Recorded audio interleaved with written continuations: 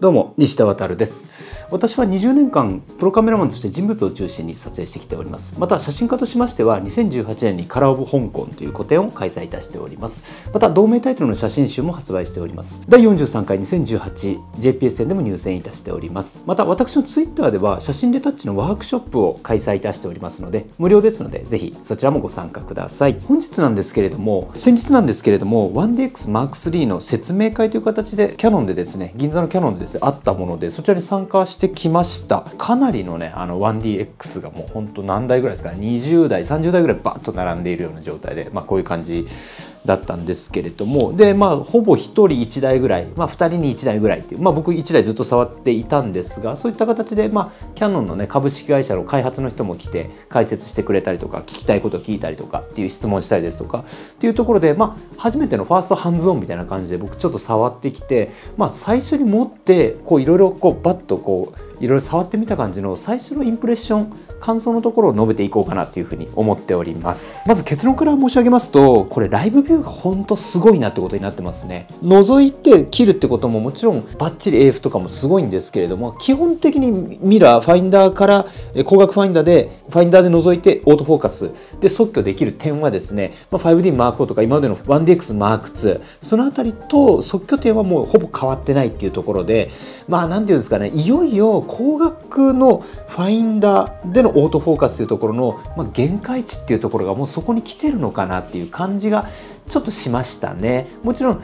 そのファインダーで覗いてたら頭部検出頭とか検出できるらしいんですけれどもファインダー越しだと瞳フォーカス瞳オートフォーカスはできませんと。一応できたらしいんですがテストの段階でやはりかなり外すことが多かったらしく一番最初に発売した時の EOSR みたいなもんですよね。EOSR も最初ちょっとね瞳オートフォーカス良くない良くないって言われてアップデートで1.4かな良くなったという経緯がありますのでっていうところも踏まえつつも何ですかいかんせんやはりこの EOSR とかもうミラーレスに慣れているとこの即拠点の少なさみたいなのをどうしても感じざるを得なかったっていうのがやはりこの光学ファインダー越しでの撮影での第一の感想という感じですかね。その代わりなんですけども、まあ、こういった形で押し込んで、えー、ミラーアップしてそのライブビューになった時の撮影っていうのはですねもう天井上から下までは100%横は90%なのでもうほぼ全域をもう瞳 AF そして頭のトラッキングっていうところもねほとんどトラッキングしてこう人の顔が一番あのモニターのここぐらいまで来てももうもちろんですけど最後の最後までトラッキングしてましたね。僕が借りてた機種が1635の F4 がついていたんですけれどもでまあそこまでね人をこうアップにして映すことはできなかったんですがそれでも結構ね、えー、と 35mm 側にして望遠側にして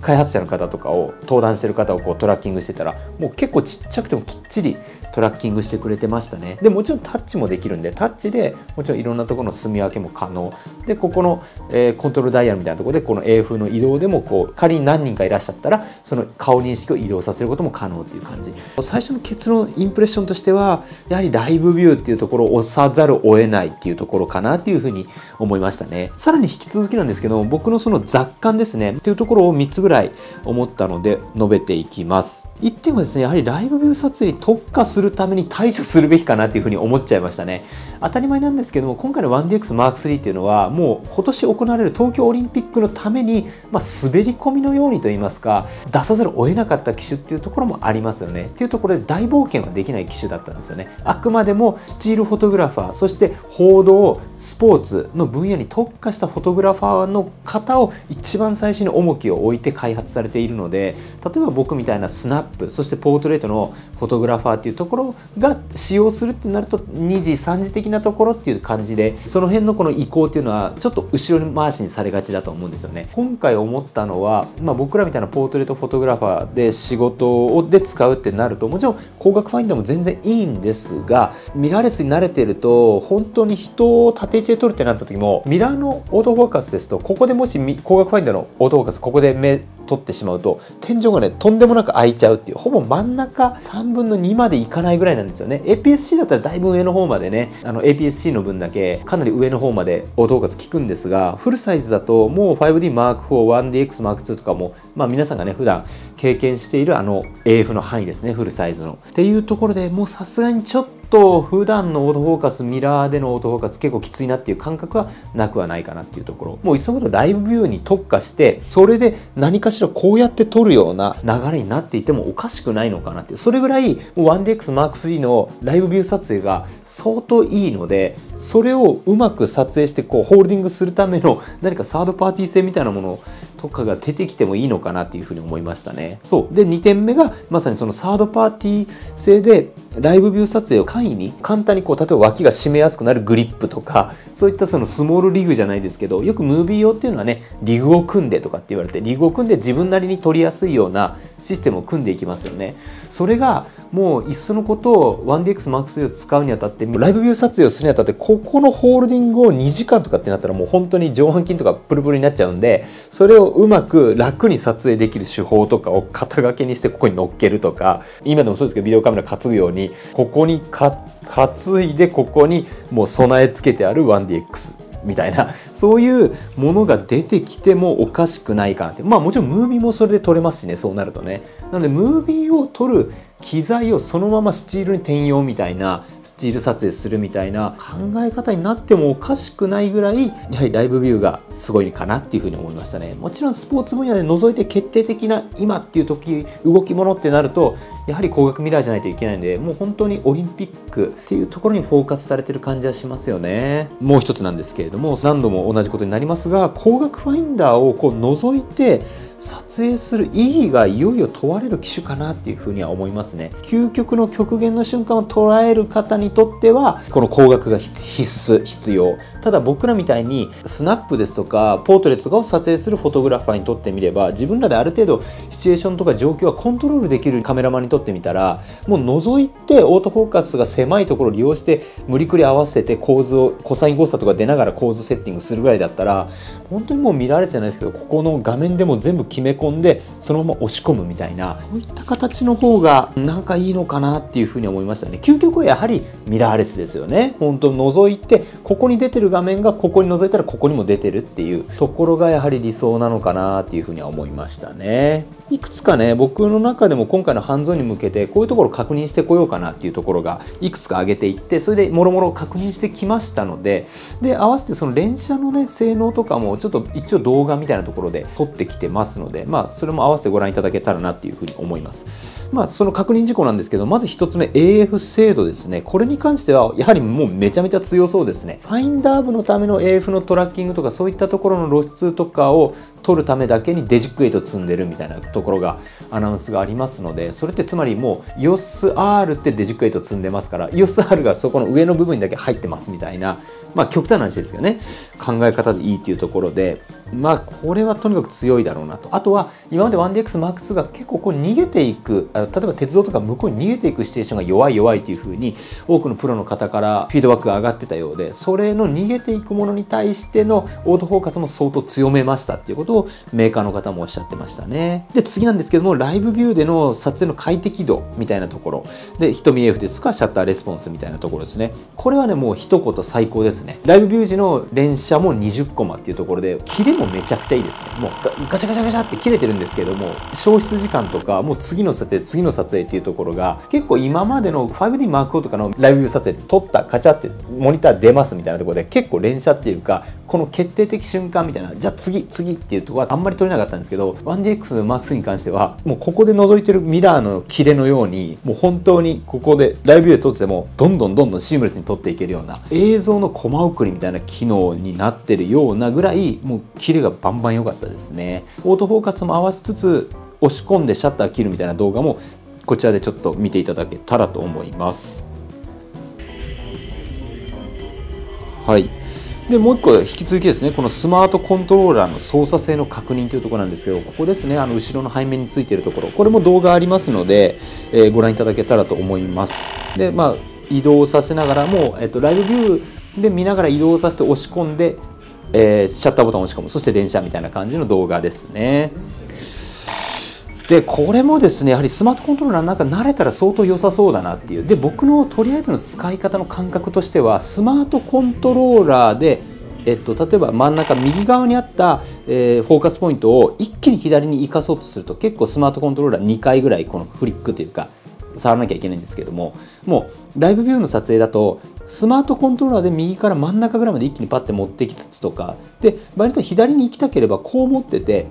左の親指でタッチすれば左側に一気に行ったりするんででタッチで行かせてそこで微調整だけをこの上下とかスマートコントローラーでちょっとするとかなんかそういう使い方できそうでしたね。このフレキシブルに。スマートコントローラーと液晶へのタッチ。そしてライブビュー撮影っていうところ。この3つの組み合わせとか駆使したらもう本当に根本的な撮り方は変わってきますね。それでさらにもう感覚的に本当に iPhone で撮影するような感覚に近いような形になってくるので究極だと今モニターがあれ何インチなのかな？3.2インチぐらいなのか分かんないですけどもうちょうど5インチとかあのブラックマジックデザインみたいなもう後ろのモニターがバーンって乗ってるような状況にゆくゆくなっていってもいいのかなぐらいな雰囲気はありますよね。で次なんですけどファインダーの見え方ですね。ここに関してはもうね 1DXM2 あたりから完成されていたのでもう覗いた感じ。間違いなくその 1D 系のファインダーという感じでしたね。もう可もなく不可もなくっていうか負荷がもともとなく可しかないっていうか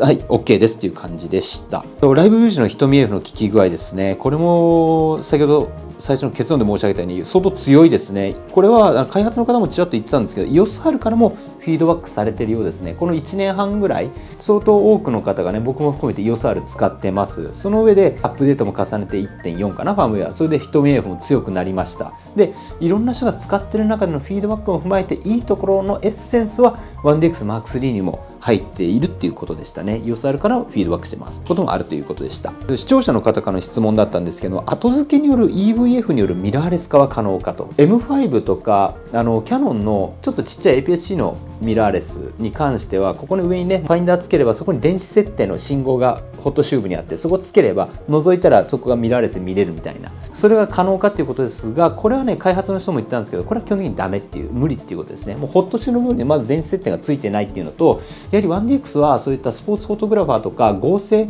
極限の状態で使うことを想定しているので下手に電子機器を外に露出させて雨に濡れたそれで漏電したじゃないですけどそういったところでのあのもしも壊れるリスクっていうのを極限まで減らしたいと。ということで1個のもう本当に塊としてカメラを構成したいというところから合成化の観点からそこの辺は基本的には無理っていうことでしたね。ただ開発の方がですねまあ1点、まあ、提案というかこういうのをやってる人いたなっていうところでもうムービーの撮り方ですね。ここにモニター液晶の部分にもうモニタールーペつけて昔ね 5DMark3 ぐらいからとか 6D、6DMark2 とか。でウェディングフォトグラファーの方とかがもうここにルーペつけてこういう形で覗きながらリグとか組んで覗きながらもうムービー回したりしてた時期ありましたね。今もねそれやってるとは思うんですけれどもまあ、こうやってねこう覗きながらよく撮りますよねあのムービーの方って。それと同じ考え方ですね。だからモニタールーペつけて液晶用のモニタールーペをつけてそこに覗きながら撮っていくみたいなだからそういうやり方がもしかしたら、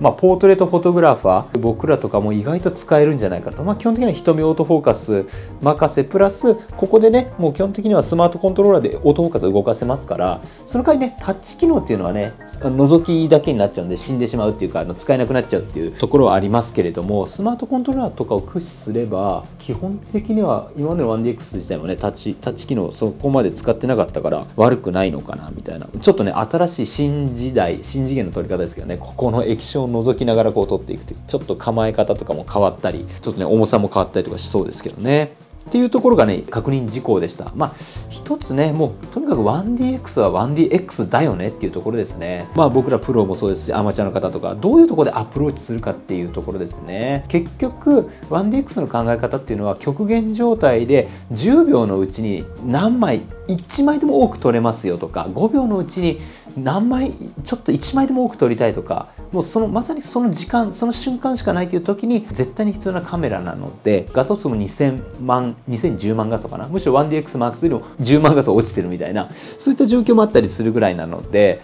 とにかく絵を記録し続けていけるカメラっていう考え方ですよね。総括に入ります。僕が今回説明会に参加して感じたのはいよいよ光学ファインダーの限界を感じると言いますかどうしてもミラーレスのファインダー EVF に慣れていくとそしてオートフォーカスの即興の広さですよね。もうトラッキングといいますかもうとことんまで前面で除いた部分全面をトラッキングできるっていう風になってくるとやはりですねこの EOSR5 まあ一応ねいつ出るか今年中に出ますっていうことでしたけどまあ僕は7月ぐらいかなっていう風には思っているんですがこの辺のね EOSR5 への期待高まりますよね。結局 1DXM3 も僕が自分の中での撮影に使えるなって思ったのはライブビューの撮影かなっていうふうにやっぱり思ったのでそれ以上になると高額で覗いて撮るメリットっていうところが正直なところ感じられなかったっていうのは事実ですね。だったら僕の使い方だと 5D Mark4 で十分かな。5DSR でも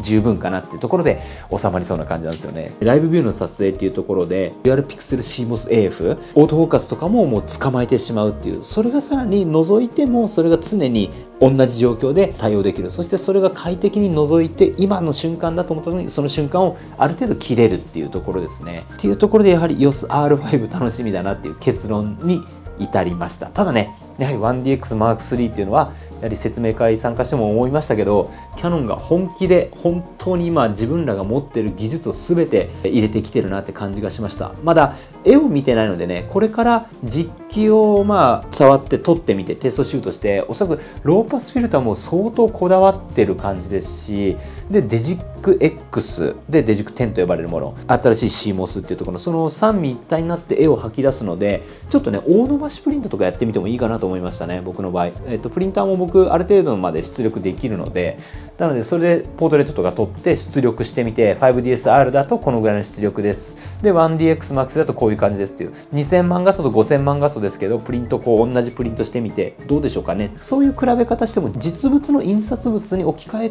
たレビューとかやってみてもちょっと面白いかなっていうイメージは今してます。いかがでしたでしょうかね。あの 1DXMAX ねもう視聴者の方でももう予約して今納品待ちですっていう方もいらっしゃったりしてまあ本当に羨ましい限りなんですけれども僕もおそらくね来月3月ぐらいにはどうしてもね CP プラスもなくなってしまったのでおそらくぶっちゃけな話機種がねダブついてる可能性があるかなっていうところで早めに僕の方にも回ってきそうな感じがしております。まあ、回ってき次第テスト撮影いろんなテスト撮影してみようと思います。普通のポートレートからそれこそスナップそして動体ですね。動き物に対してもまあ僕なりに撮影してみて実際にどういう感じかっていうところを皆様にお伝えできたらなというふうに思っております。またコメント欄等もぜひご活用ください。合わせましてチャンネル登録もよろしくお願いいたします。それでは失礼いたします。西田渉でした。